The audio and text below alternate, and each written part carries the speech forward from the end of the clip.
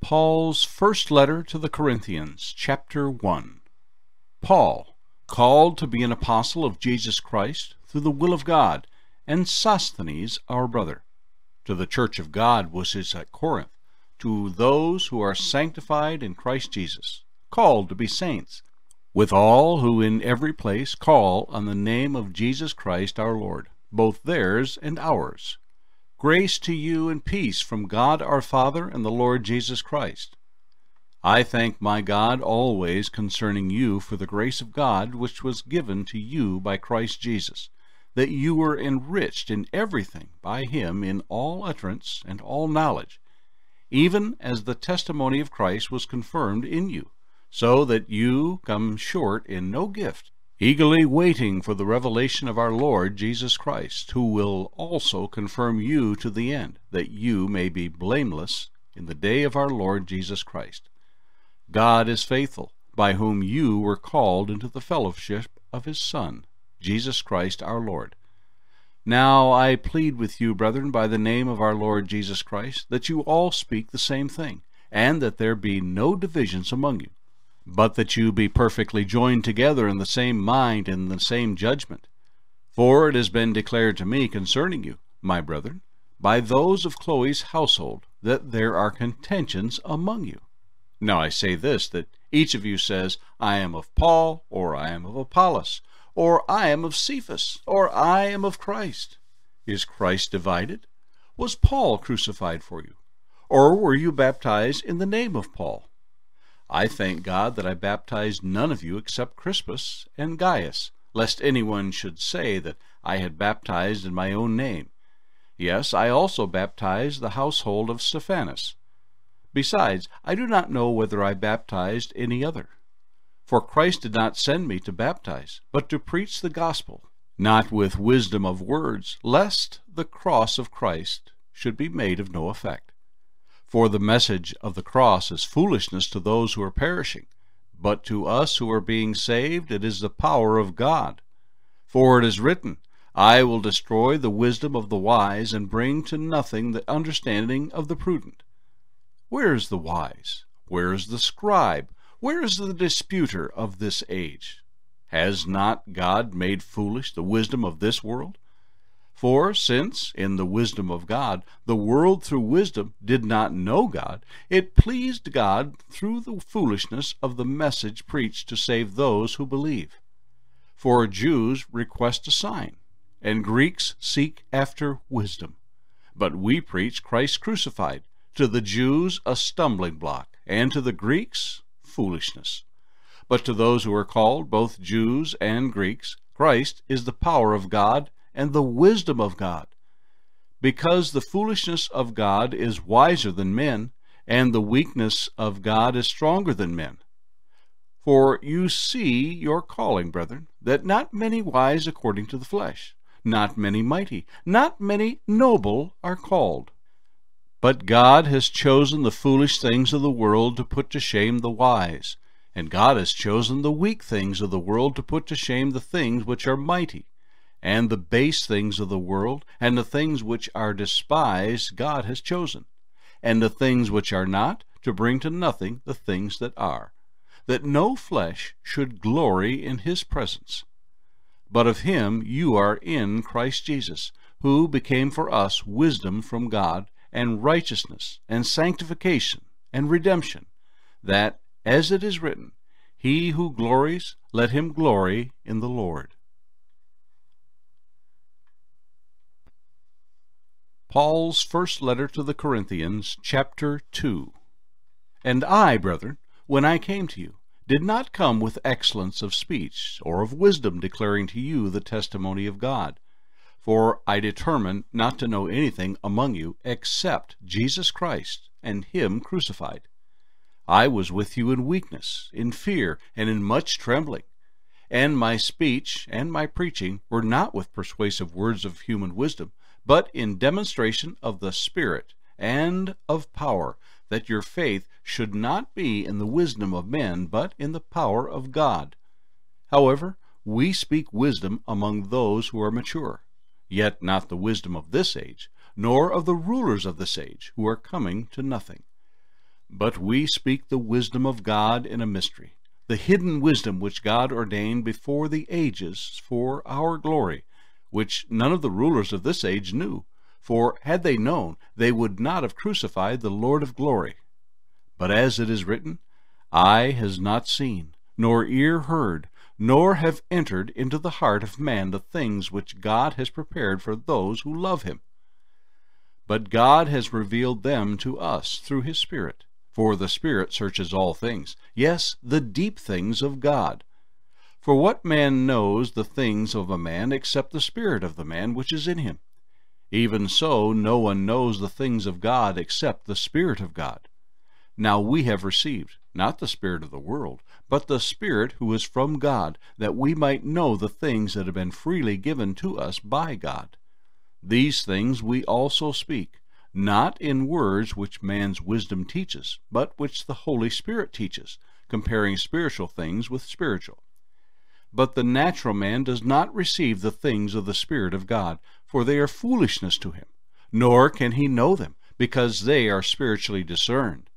But he who is spiritual judges all things, yet he himself is rightly judged by no one.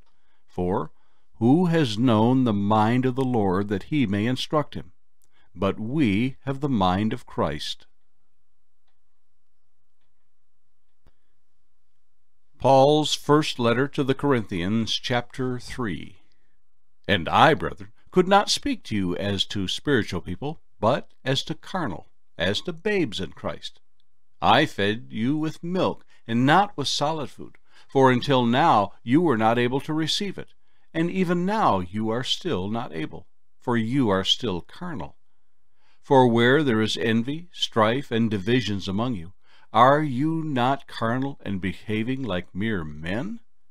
For when one says, I am of Paul, and another, I am of Apollos, are you not carnal?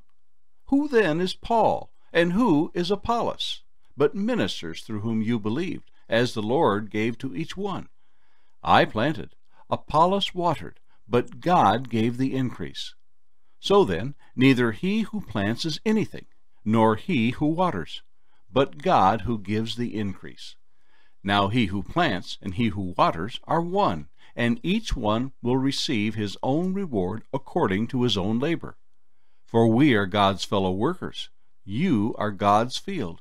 You are God's building according to the grace of God which was given to me, as a wise master builder, I have laid the foundation, and another builds on it. But let each one take heed how he builds on it. For no other foundation can anyone lay than that which is laid, which is Christ Jesus. Now if anyone builds on this foundation with gold, silver, precious stones, wood, hay, straw, each one's work will become clear for the day will declare it, because it will be revealed by fire, and the fire will test each one's work, of what sort it is. If anyone's work which he has built on it endures, he will receive a reward.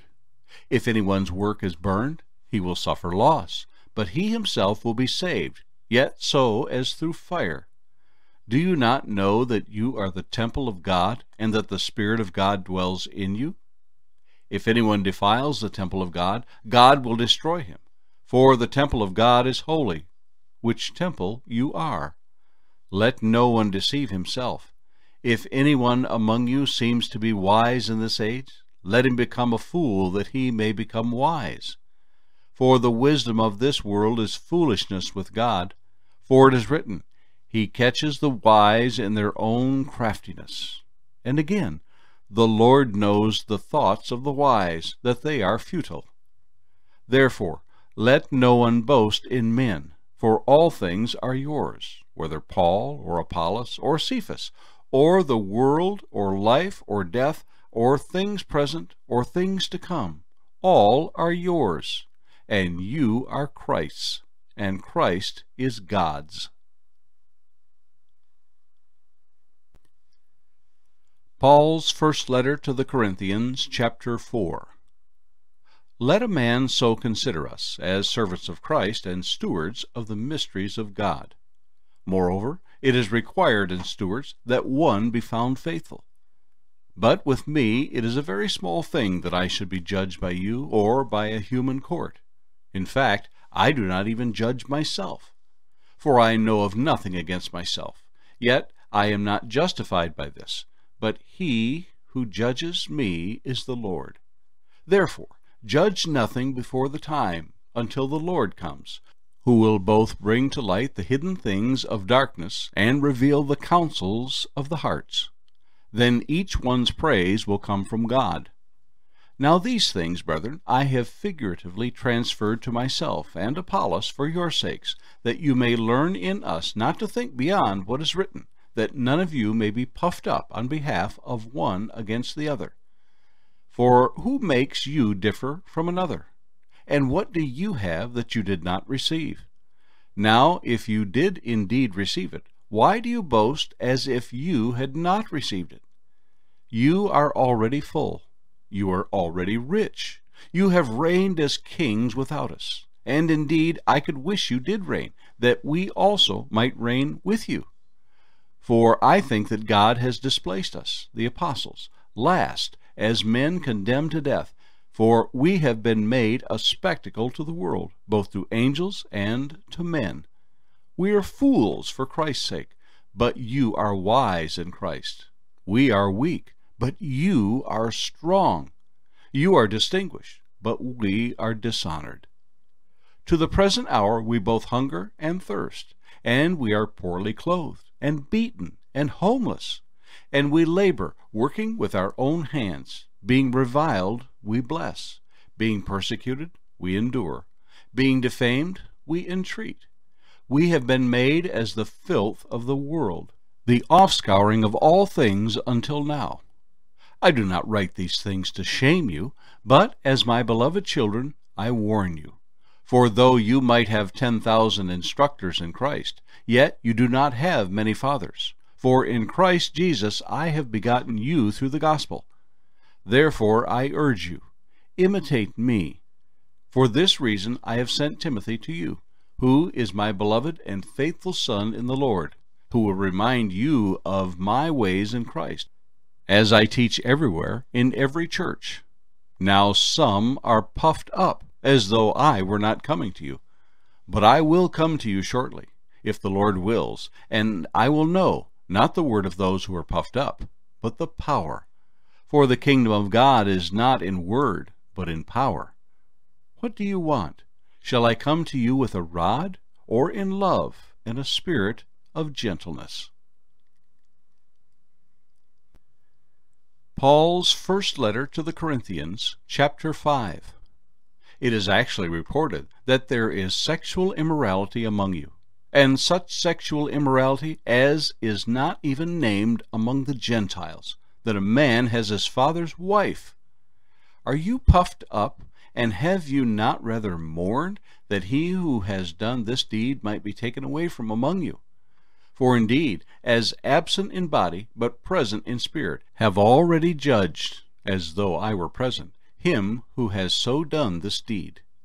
In the name of our Lord Jesus Christ, when you are gathered together, along with my spirit, with the power of our Lord Jesus Christ, deliver such a one to Satan for the destruction of the flesh, that his spirit might be saved in the day of the Lord Jesus. Your glorying is not good.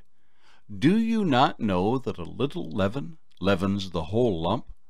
Therefore, Purge out the old leaven, that you may be a new lump, since you truly are unleavened. For indeed Christ our Passover was sacrificed for us.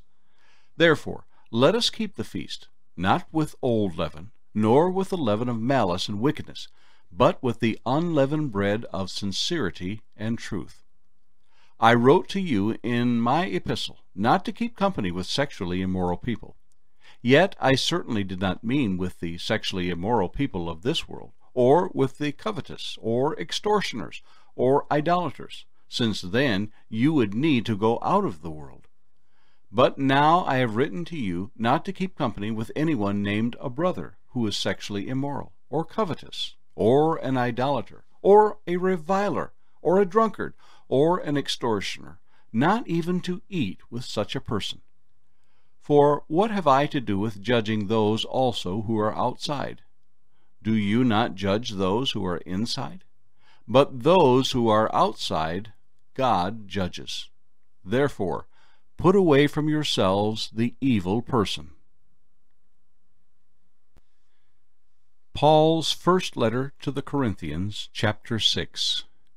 Dare any of you, having a matter against another, go to law before the unrighteous, and not before the saints?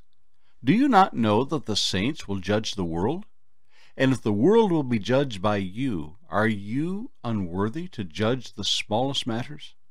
Do you not know that we shall judge angels? How much more things that pertain to this life? If, then, you have judgments concerning things pertaining to this life, do you appoint those who are least esteemed by the church to judge? I say this to your shame. Is it so that there is not a wise man among you, not even one who will be able to judge between his brethren?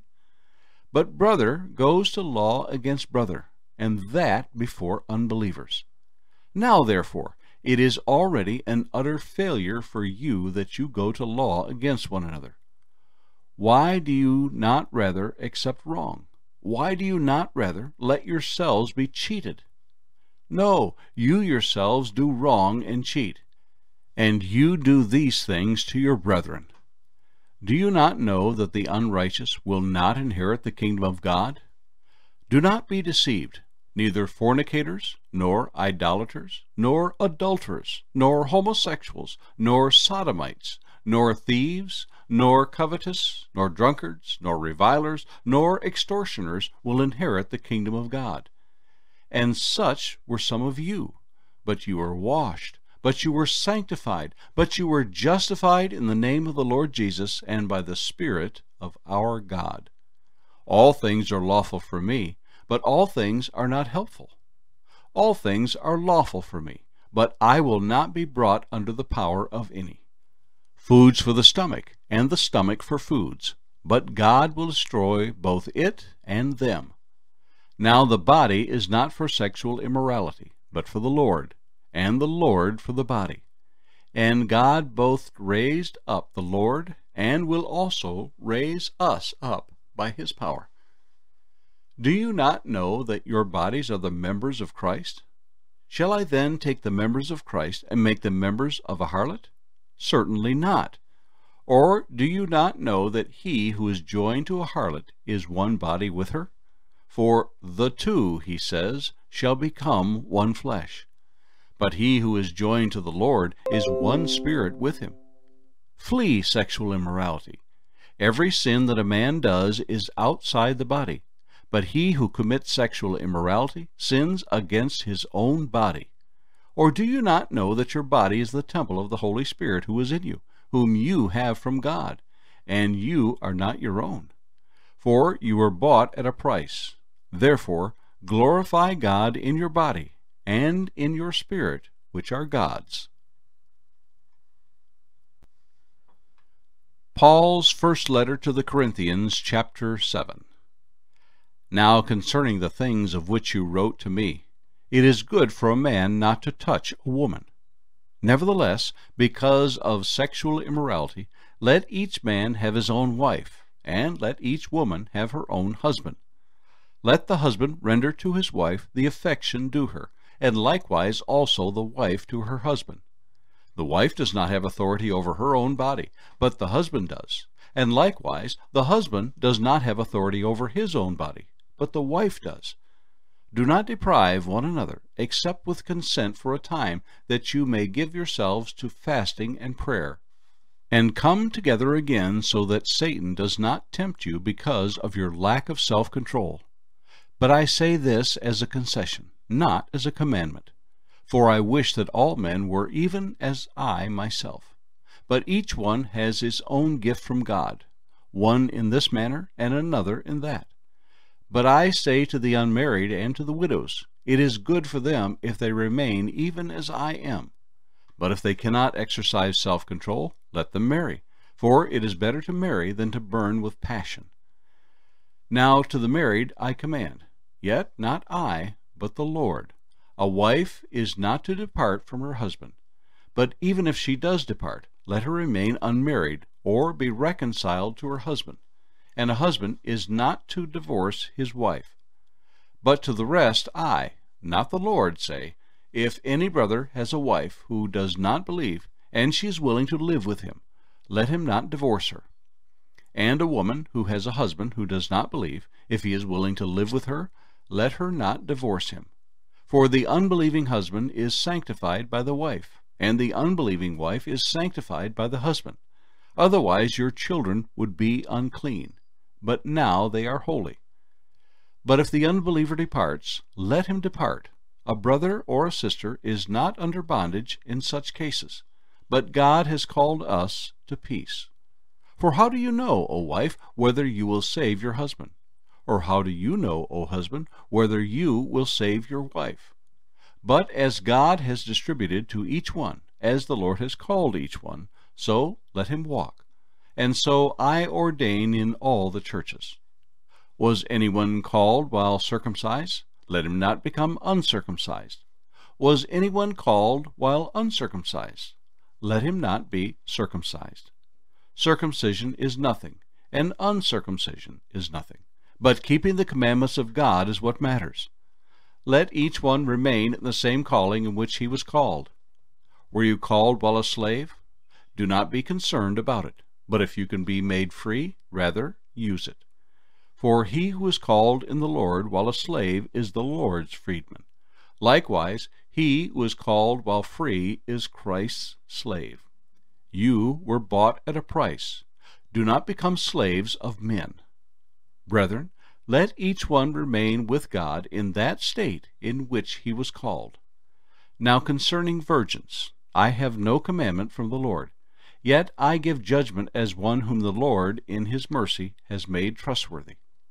I suppose, therefore, that this is good because of the present distress, that it is good for a man to remain as he is.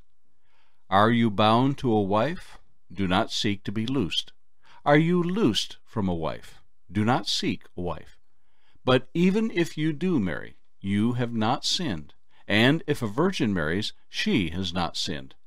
Nevertheless, such will have trouble in the flesh, but I would spare you.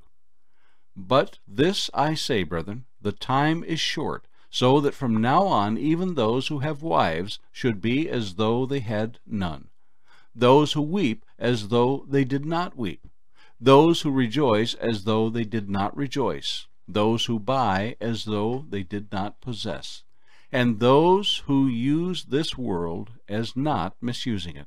For the form of this world is passing away. But I want you to be without care. He who is unmarried cares for the things of the Lord, how he may please the Lord. But he who is married cares about the things of the world, how he may please his wife. There is a difference between a wife and a virgin. The unmarried woman cares about the things of the Lord, that she may be holy both in body and in spirit.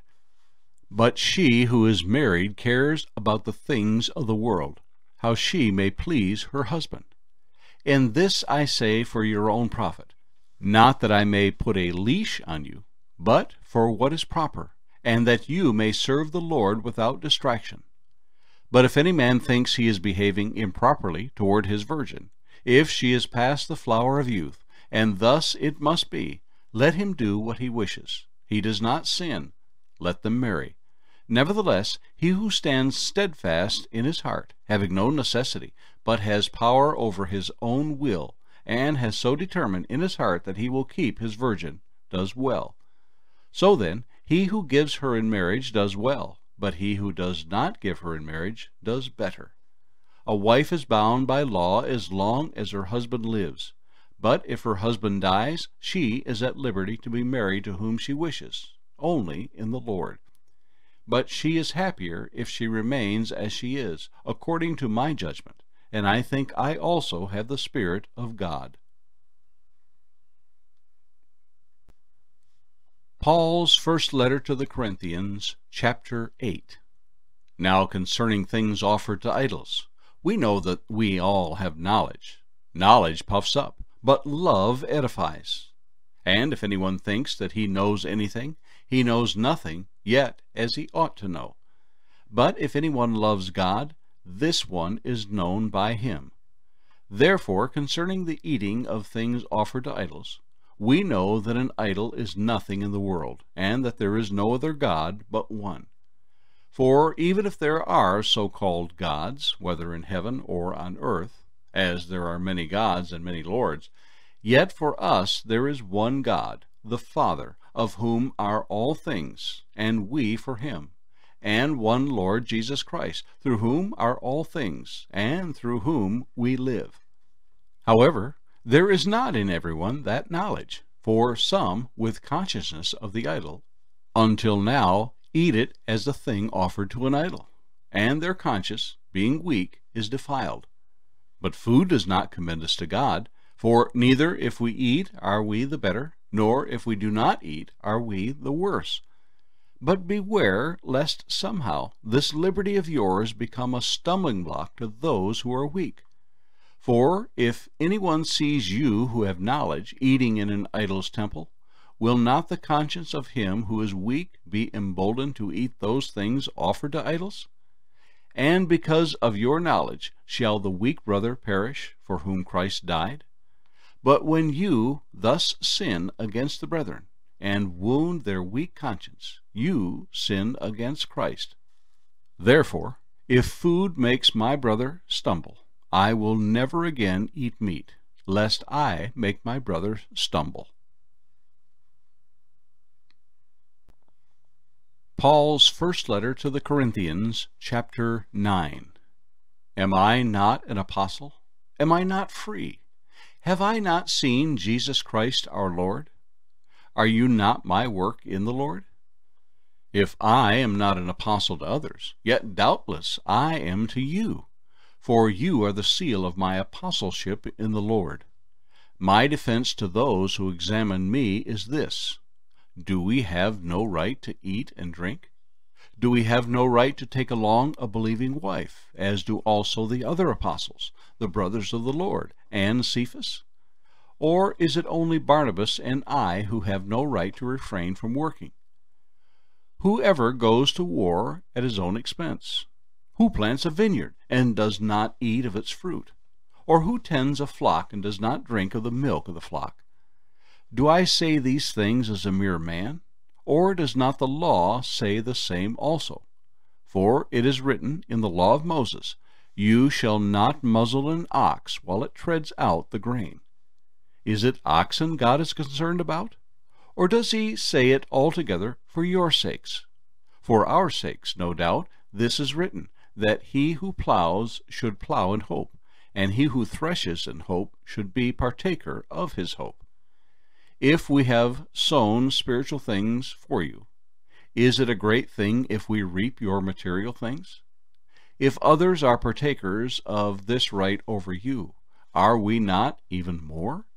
Nevertheless, we have not used this right, but endure all things, lest we hinder the gospel of Christ. Do you not know that those who minister the holy things eat of the things of the temple, and those who serve at the altar partake of the offerings of the altar? Even so, the Lord has commanded that those who preach the gospel should live from the gospel. But I have used none of these things, nor have I written these things that it should be done so to me. For it would be better for me to die than that anyone should make my boasting void. For if I preach the gospel, I have nothing to boast of, for necessity is laid upon me. Yes, woe is me if I do not preach the gospel. For if I do this willingly, I have a reward. But if against my will, I have been entrusted with a stewardship. What is my reward then? That when I preach the gospel, I may present the gospel of Christ without charge, that I may not abuse my authority in the gospel. For though I am free from all men, I have made myself a servant to all, that I might win the more. And to the Jews I became as a Jew, that I might win Jews. To those who are under the law, as under the law, that I might win those who are under the law. To those who are without law, as without law, not being without law toward God, but under law toward Christ, that I might win those who are without law. To the weak I became as weak that I might win the weak. I have become all things to all men, that I might by all means save some. Now this I do for the gospel's sake, that I may be partaker of it with you. Do you not know that those who run in a race all run, but one receives the prize?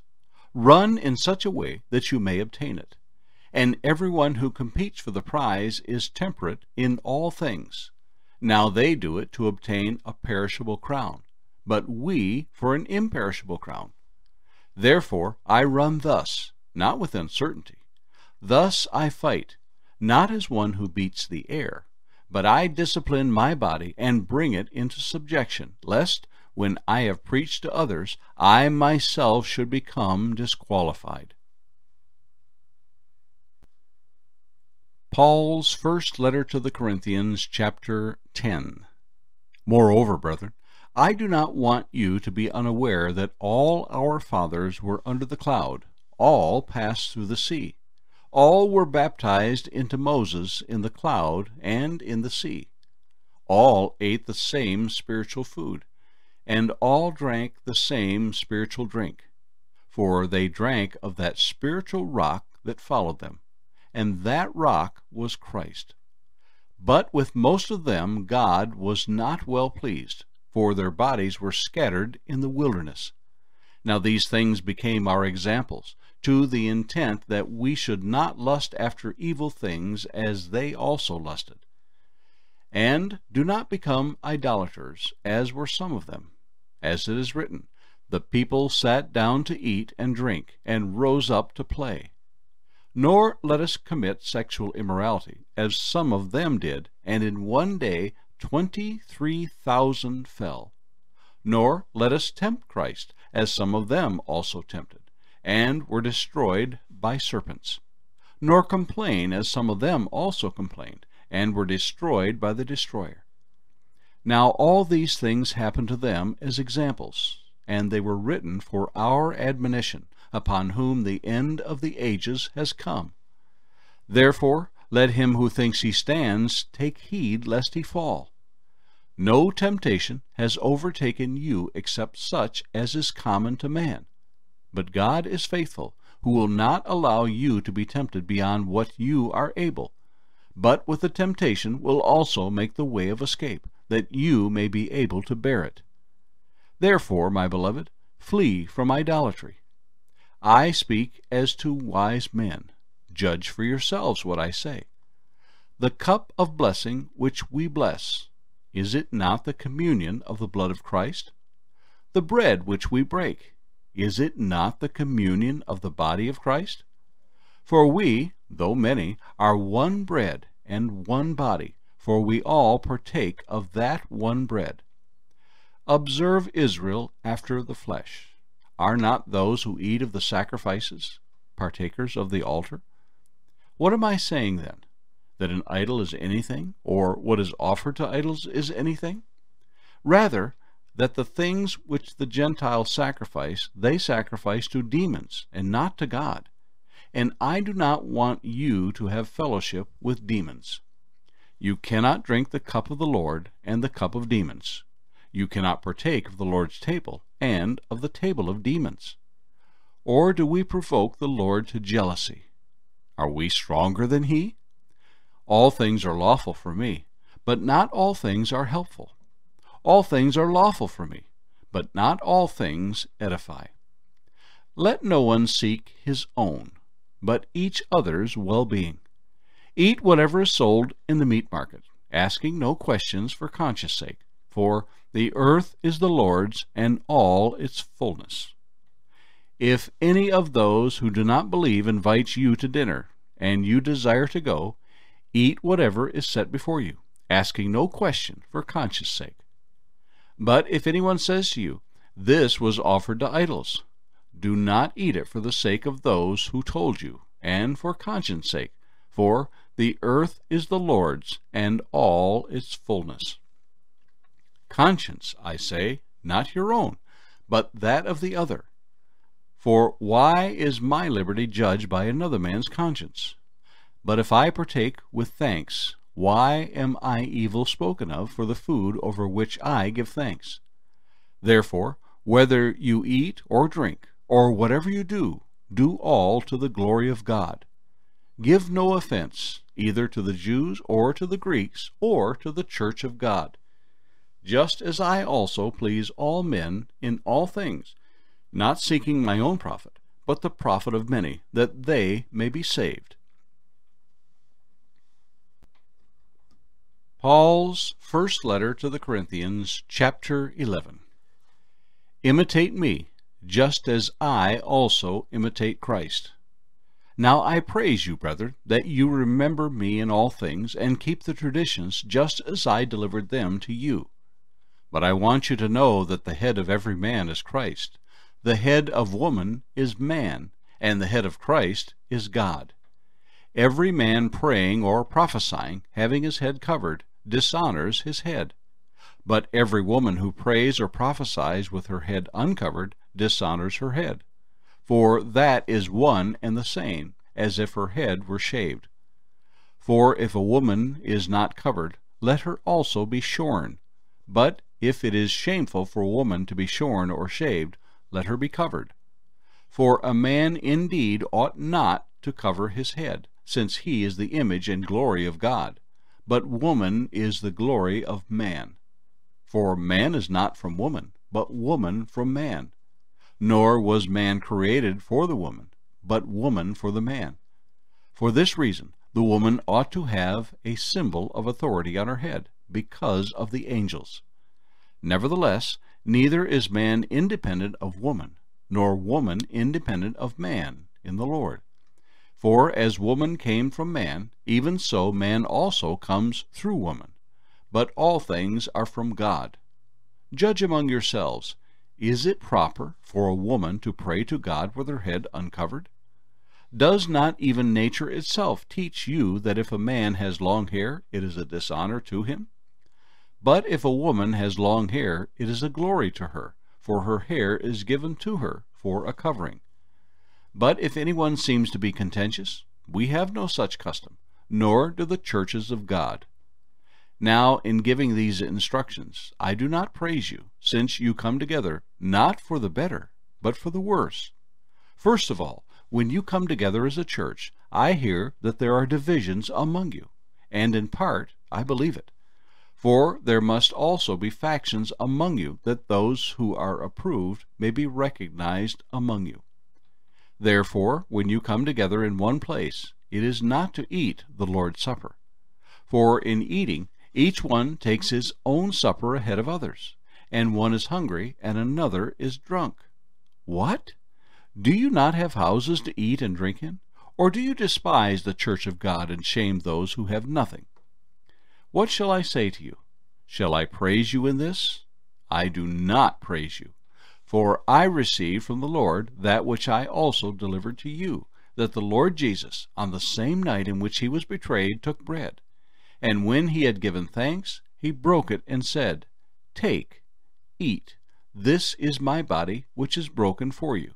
Do this in remembrance of me. In the same manner he also took the cup after supper, saying, This cup is the new covenant in my blood. This do, as often as you drink it, in remembrance of me. For as often as you eat this bread and drink this cup, you proclaim the Lord's death till he comes. Therefore, whoever eats this bread or drinks this cup of the Lord in an unworthy manner will be guilty of the body and blood of the Lord. But let a man examine himself, and so let him eat of the bread and drink of the cup. For he who eats and drinks in an unworthy manner eats and drinks judgment to himself not discerning the Lord's body. For this reason, many are weak and sick among you, and many sleep. For if we would judge ourselves, we would not be judged. But when we are judged, we are chastened by the Lord, that we may not be condemned with the world. Therefore, my brethren, when you come together to eat, wait for one another. But if anyone is hungry, let him eat at home lest you come together for judgment, and the rest I will set in order when I come. Paul's first letter to the Corinthians, chapter 12. Now concerning spiritual gifts, brethren, I do not want you to be ignorant. You know that you were Gentiles, carried away to these dumb idols, however you were led. Therefore I make known to you that no one speaking by the Spirit of God calls Jesus accursed, and no one can say that Jesus is Lord except by the Holy Spirit. There are diversities of gifts, but the same Spirit. There are differences of ministries, but the same Lord. And there are diversities of activities, but it is the same God who works all in all. But the manifestation of the Spirit is given to each one for the profit of all. For to one is given the word of wisdom through the Spirit, to another the word of knowledge through the same Spirit, to another faith by the same Spirit. To another, gifts of healings by the same Spirit. To another, the working of miracles. To another, prophecy. To another, discerning of spirits. To another, different kinds of tongues. To another, the interpretation of tongues. But one and the same Spirit works all these things, distributing to each one individually as he wills. For as the body is one and has many members, but all the members of that one body, being many, are one body. So also is Christ. For by one Spirit we were all baptized into one body, whether Jews or Greeks, whether slaves or free, and have all been made to drink into one Spirit. For, in fact, the body is not one member, but many. If the foot should say, Because I'm not a hand, I'm not of the body, is it therefore not of the body? And if the ear should say, Because I am not an eye, I am not of the body, is it therefore not of the body? If the whole body were an eye, where would be the hearing? If the whole were hearing, where would be the smelling? But now God has set the members, each one of them, in the body just as he pleased. And if they were all one member, where would the body be? But now, indeed, there are many members, yet one body. The eye cannot say to the hand, I have no need of you, nor again the head to the feet, I have no need of you. No, much rather, those members of the body which seem to be weaker are necessary, and those members of the body which we think to be less honorable, on these we bestow greater honor, and our unpresentable parts have greater modesty but our presentable parts have no need. But God composed the body, having given greater honor to that part which it lacks, that there should be no schism in the body, but that the members should have the same care for one another. And if one member suffers, all the members suffer with it. Or if one member is honored, all the members rejoice with it. Now you are the body of Christ, and members individually. And God has appointed these in the church first, apostles, second, prophets, third, teachers, after that, miracles, then gifts of healings, helps, administrations, varieties of tongues. Are all apostles? Are all prophets? Are all teachers? Are all workers of miracles? Do all have gifts of healings? Do all speak with tongues? Do all interpret? But earnestly desire the best gifts. And yet I show you a more excellent way. Paul's first letter to the Corinthians, chapter 13. Though I speak with the tongues of men and of angels, but have not love, I have become sounding brass or a clanging cymbal. And though I have the gift of prophecy, and understand all mysteries and all knowledge, and though I have all faith, so that I could remove mountains, but have not love, I am nothing. And though I bestow all my goods to feed the poor, and though I give my body to be burned, but have not love, it profits me nothing. Love suffers long and is kind. It does not envy. Love does not parade itself is not puffed up. Love does not behave rudely, does not seek its own, is not provoked, thinks no evil, does not rejoice in iniquity, but rejoices in the truth, bears all things, believes all things, hopes all things, endures all things. Love never fails. But whether there are prophecies, they will fail. Whether there are tongues, they will cease. Whether there is knowledge, it will vanish away. For we know in part, and we prophesy in part. But when that which is perfect has come, then that which is in part will be done away. When I was a child, I spoke as a child. I understood as a child. I thought as a child. But when I became a man, I put away childish things.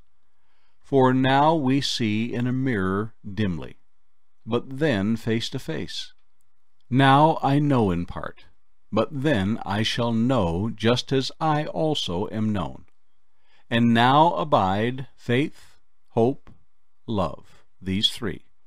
But the greatest of these is love. Paul's first letter to the Corinthians, chapter 14. Pursue love and desire spiritual gifts, but especially that you may prophesy. For he who speaks in a tongue does not speak to men, but to God. For no one understands him, however, in the Spirit he speaks mysteries. But he who prophesies speaks edification and exhortation and comfort to men. He who speaks in a tongue edifies himself, but he who prophesies edifies the church. I wish you all spoke with tongues, but even more that you prophesied. For he who prophesies is greater than he who speaks with tongues, unless indeed he interprets, that the church may receive edification. But now, brethren, if I come to you speaking with tongues, what shall I profit you unless I speak to you either by revelation, by knowledge, by prophesying, or by teaching? Even things without life, whether flute or harp, when they make a sound, unless they make a distinction in the sounds, how will it be known what is piped or played? For if the trumpet makes an uncertain sound, who will prepare for battle?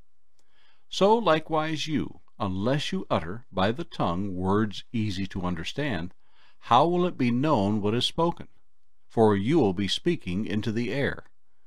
There are, it may be, so many kinds of languages in the world, and none of them is without significance.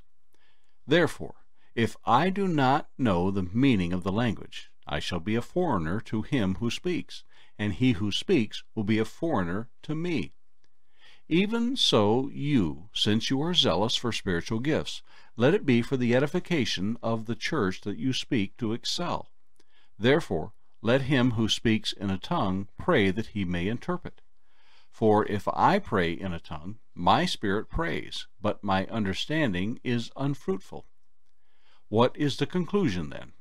I will pray with the spirit, and I will also pray with the understanding. I will sing with the spirit, and I will also sing with the understanding. Otherwise, if you bless with the Spirit, how will he who occupies the place of the uninformed say, Amen, at your giving of thanks, since he does not understand what you say?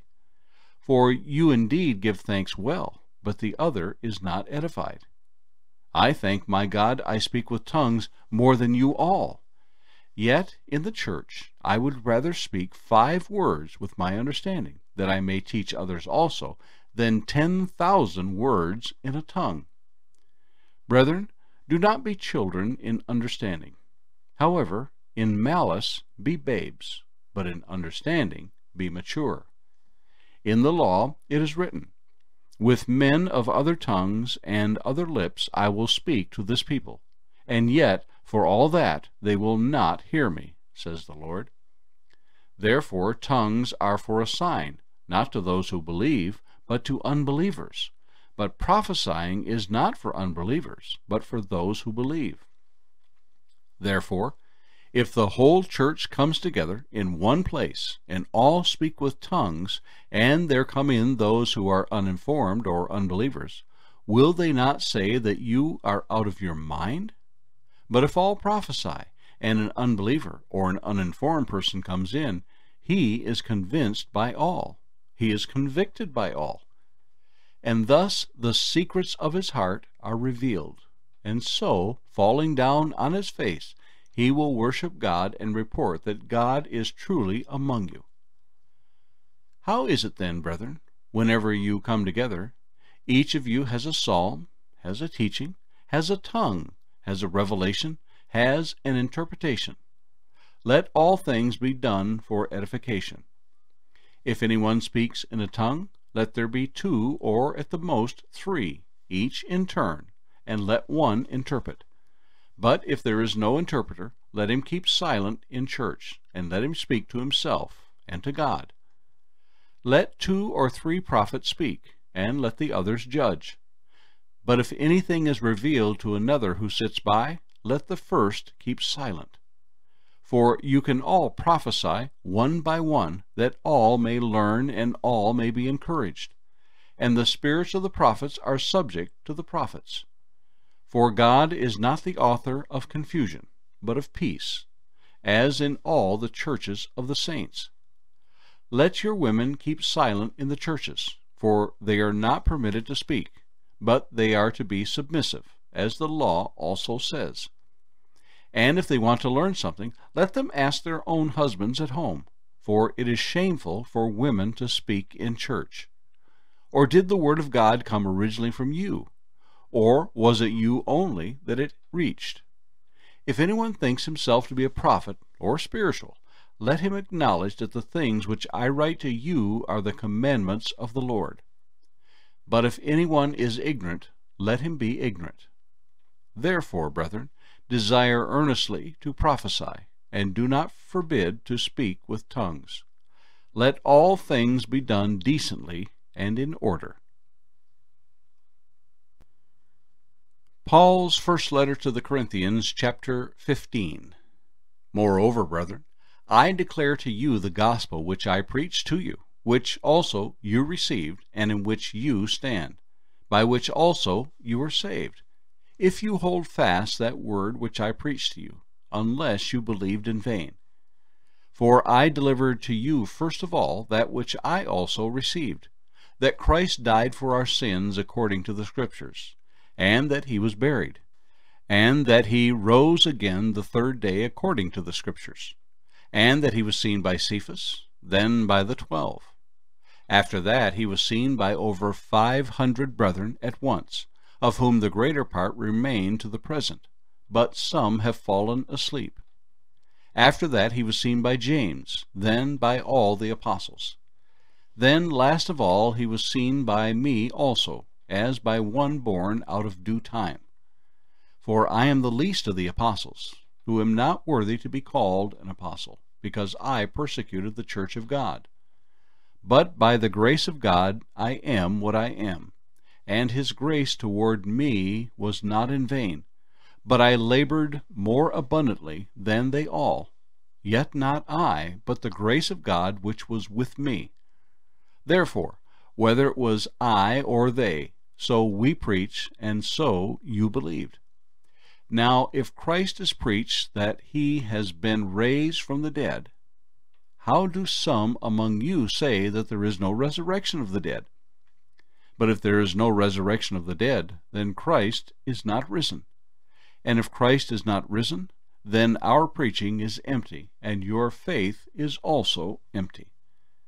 Yes, and we are found false witnesses of God, because we have testified of God that he raised up Christ, whom he did not raise up, if in fact the dead do not rise.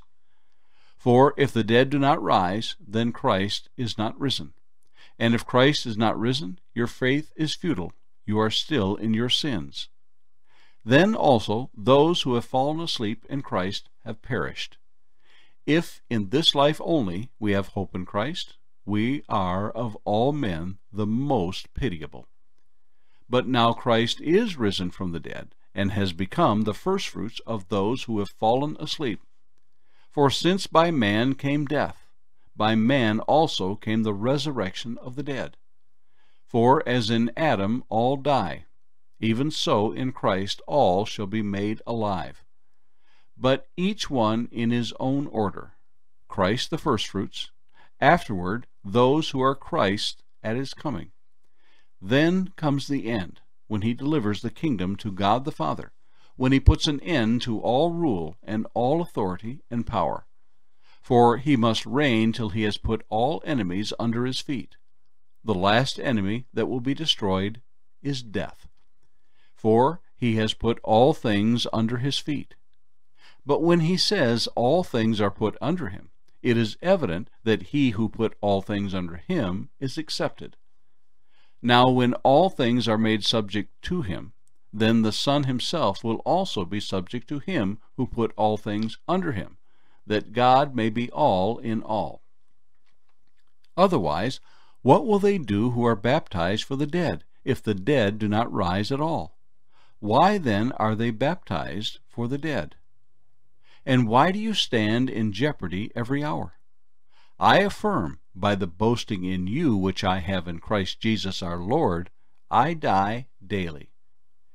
If, in the manner of men, I have fought with beasts at Ephesus, what advantage is it to me? If the dead do not rise, let us eat and drink, for tomorrow we die. Do not be deceived. Evil company corrupts good habits.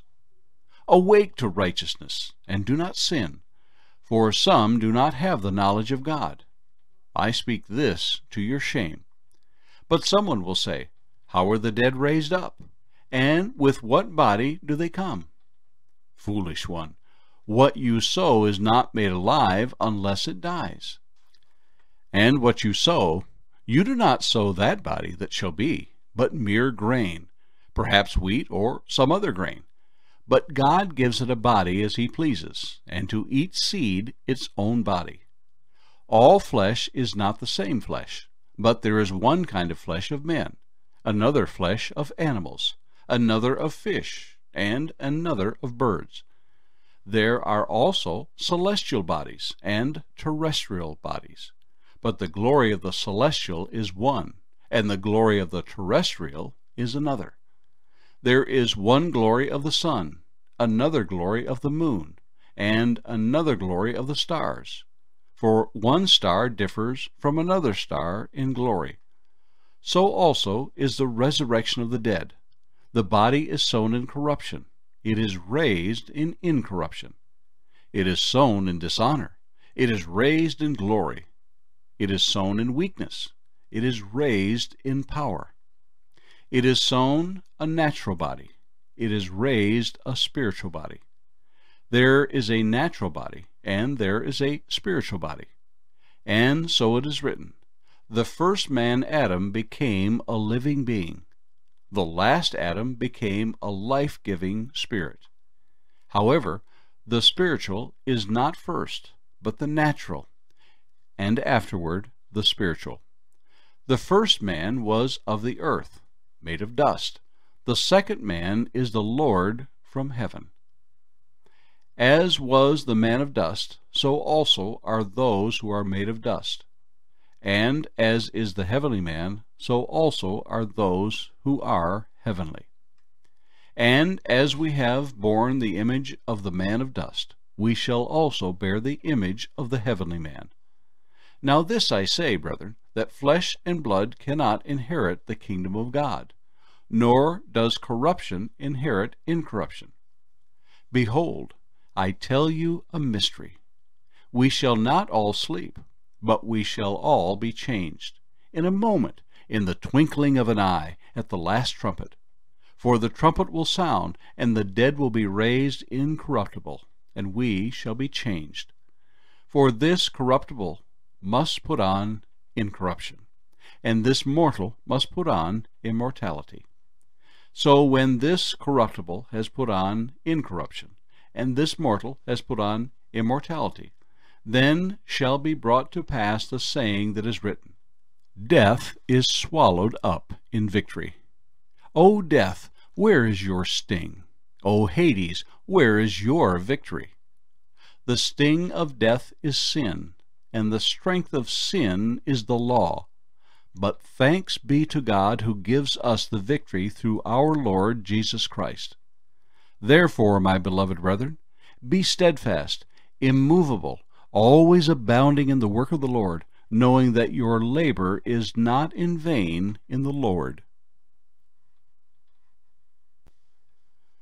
Paul's first letter to the Corinthians, chapter 16. Now concerning the collection for the saints, as I have given orders to the churches of Galatia, so you must do also. On the first day of the week, let each one of you lay something aside, storing up as he may prosper, that there be no collections when I come. And when I come, whomever you approve by your letters, I will send to bear your gift to Jerusalem. But if it is fitting that I go also, they will go with me. Now I will come to you when I pass through Macedonia, for I am passing through Macedonia. And it may be that I will remain, or even spend the winter with you, that you may send me on my journey wherever I go. For I do not wish to see you now on my way, but I hope to stay a while with you, if the Lord permits. But I will tarry in Ephesus until Pentecost. For a great and effective door has opened to me, and there are many adversaries. And if Timothy comes, see that he may be with you without fear, for he does the work of the Lord, as I also do. Therefore let no one despise him, but send him on his journey in peace, that he may come to me, for I am waiting for him with the brethren. Now concerning our brother Apollos, I strongly urged him to come to you with the brethren but he was quite unwilling to come at this time. However, he will come when he has a convenient time. Watch, stand fast in the faith, be brave, be strong. Let all that you do be done with love. I urge you, brethren, you know the household of Stephanas, that it is the firstfruits of Achaia, and that they have devoted themselves to the ministry of the saints that you also submit to such, and to everyone who works and labors with us.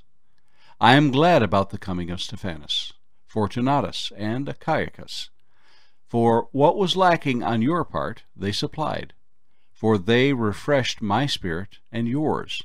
Therefore acknowledge such men. The churches of Asia greet you. Aquila and Priscilla greet you heartily in the Lord, with the church that is in their house. All the brethren greet you. Greet one another with a holy kiss. The salutation with my own hand, Paul's. If anyone does not love the Lord Jesus Christ, let him be accursed. O Lord, come. The grace of our Lord Jesus Christ be with you. My love be with you all in Christ Jesus. Amen. The end of Paul's first letter to the Corinthians.